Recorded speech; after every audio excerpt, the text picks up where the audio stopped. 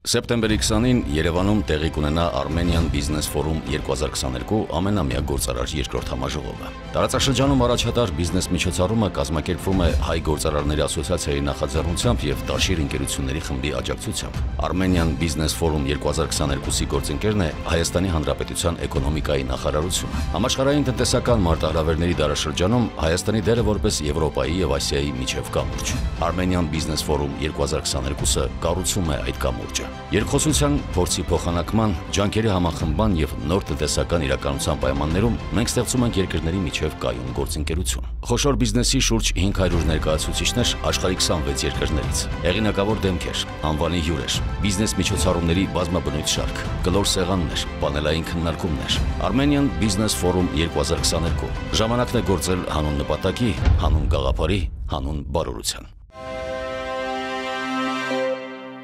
Բերեք սկսենք սահմանային միջադեպից, անցած գիշեր վստահ եմ գիտեք, ադրբեջանական զինված ուժերի ստորաբաժանում ներկայակ են բացել հայկական դիրքերի ուղղությամբ, պատասխան գործողություններով կրակը լրացվել է։ Բերեք հասկանանք, Բաքուն նոր պատճառ է գտել կրակելու։ Տեսեք, նախ եկեք արձանագրենք, որ այս ծեռագիրը Բաքվի մեզ անծանոթ չէ, սակայն վերջին շրջանում կարծես թե բարբերաբար շարունակում է նման գործելավոճով Բաքուն ամենայն հավանականությամբ գործողությունները միտված են այսպես չեզոքացնելու հայ-ադրբեջանական հարաբերությունների ուրեմն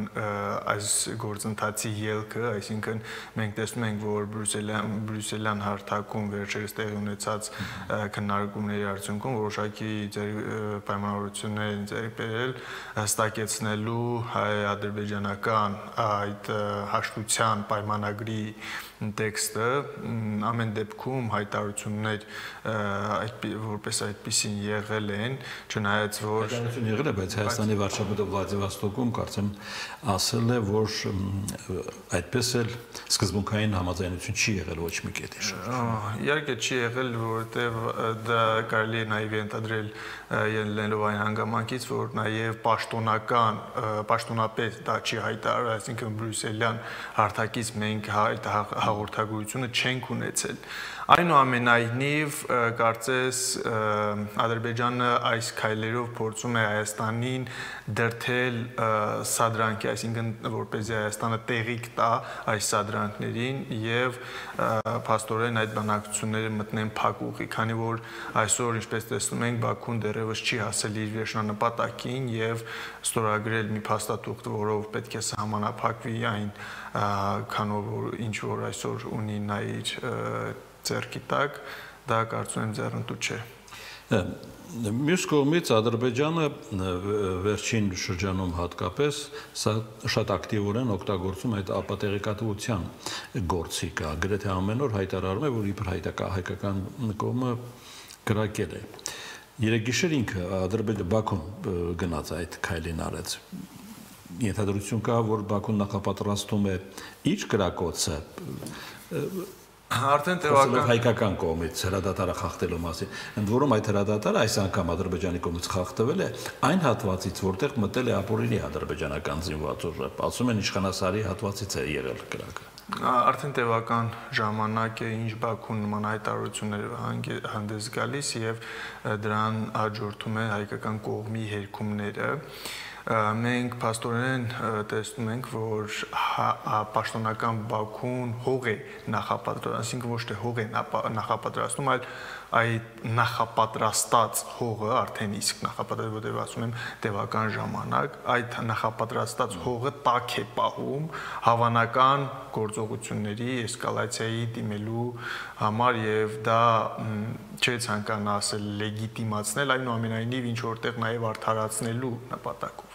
Ադրբեջանը երբևէ որևէ ապացույց ներկայացրել այն մասին, որ իբր հայկական կողմն է կրակում։ Չի եղել, ես չեմ հիշում այդպեսի դեպք։ Բացի այն չոր հայտարարությունից, որ անում են ադրբեջանական կողմից։ Իհարկե չի եղել եւ որպես ապացույց ինձ թվում է պետք է կողմերը կարող են իհարկե տարբեր փաստարկներ բերել, այնուամենայնիվ որպես այսինքն եթե ադրբեջանին հետաքրքիր է մյուսները ինչպեսի արձագանք կունենան իր ապատեղեկատվության նկատմամբ, պետք է ապացույց ներկայացնի։ Միանշանակ, բայց որպես հիմնավոր ապացույց այս դեպքում կարծում եմ պետք է մենք գործ ունենանք մշտադիտարկվող, այսինքն երրորդ կողմի կողմի կողմից իրականացվող դիտարկման արդյունքում ուրեմն արձանագրված փաստերը։ Դե բերեք փորձենք վարկածներով հասկանալ ինչն է Ադրբեջանին դրդում նման գործողությունների եւ քայլերի մեկը որ ես մտածեցի դա ամերիկացի նոր համանախագահի այցն է տարածաշրջան որ գալիս է բարձվում է հիմա էլ ռուս ռուս համանախագահն է նոր նշանակված Բաքվում հետո գալիս է Երևան միգուցե այս սարժը շարժը Բաքվի սրտով չէ Եթե հաշվի առնենք նաև Վլադիվոստոկի այն հստակ հայտարարությունը, որ այն ամենայնիվ Լեռնային Ղարաբաղի օրակարգ գոյություն ունի այս հանդիպումներում շատ հնարավոր է, բայց պետք է նաև մի հանգամանք մենք հաշվի առնենք, որ ոչ միայն այստեղ ԵԱԿ Մինսկի համանախագահ, որպես այլ նաև հարավային Կովկասի երկրների հետ հարաբերությունների համակարգման ուրեմն համակարգող է նշանակվել եւ այս առումով այցը ոչ միայն Ադրբեջան, այլ նաեւ Վրաստան, Հայաստան եւ Ադրբեջան է կատարվում, այս համատեքստում կարող են դիտարկել բայց ամեն դեպքում նաև չեն կարող բացառել այդ տարբերակը, որ Բաքուն Բաքուն այսպես ռեակցիոն է տրամադրված տեղի ունեցող այդ գործընթացների, այսինքն ԵԱԿ Մինսկի խմբի համանախ որպես համանախագահ արդեն ակտիվացման առումով։ Ի վերջո եղան դեսպաններ, որոնք չգնացին Շուշի, չէ՞, դա էլ Բաքուն դեռ չի մարսել ինձ թվում է։ Իհարկե, բայց դա արդեն մոտ 1 տարի առաջ է։ Չէ, չէ, վերջերս վերջերս ԵԱԿ Մինսկի խմբի եթե Ֆրանսիայի եւ